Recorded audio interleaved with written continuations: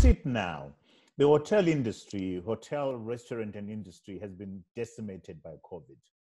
Um, what do, is there a way of uh, the industry coming back, particularly our our own local industry? Uh, what what are your thoughts about how the industry gets back, Herbert? The, the, the, the tourism industry which is the biggest industry on planet Earth. It employs 10% of all people. That's the biggest industry. Contributes say, about 12% of uh, GDP to the world.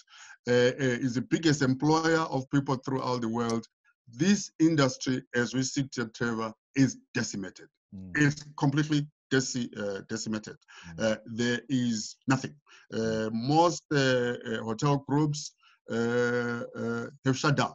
And uh, there is, I was reading an article yesterday uh, where there is the highest number of hotels uh, uh under administration, uh, liquidation, or on sale.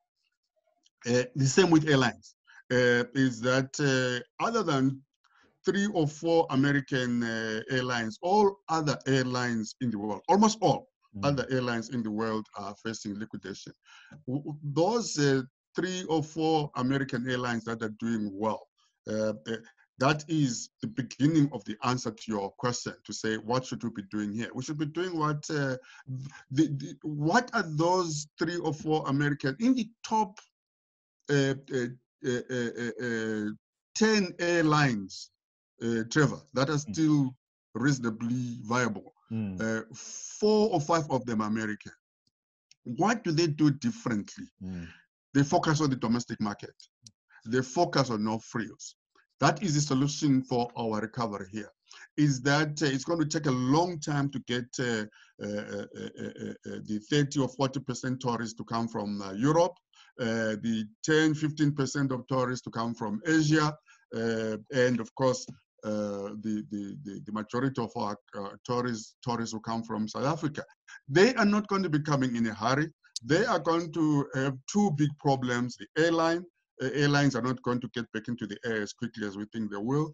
And there is the fear of uh, disease. You're not going to mm. take your family to a place where, into a room where you don't know who slept there last night, mm. regardless of how much hygiene uh, uh, there is, is that there's going to be apprehension by people to take families uh, onto onto onto onto uh, uh, too far away from home.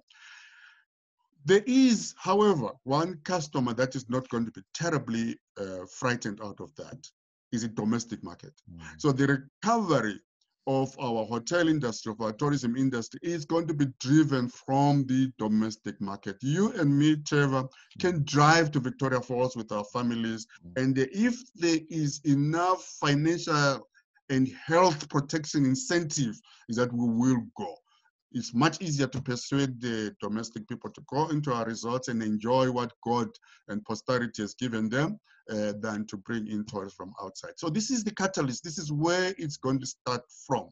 The cover of the tourism industry is going to be self-drives, it's going to be uh, uh, uh domestic, uh, and it's going to be the hotels themselves offering uh, hygiene protection that will give you a comfort level to take your family to, and also financial incentives for a country that has generally got low uh, incomes.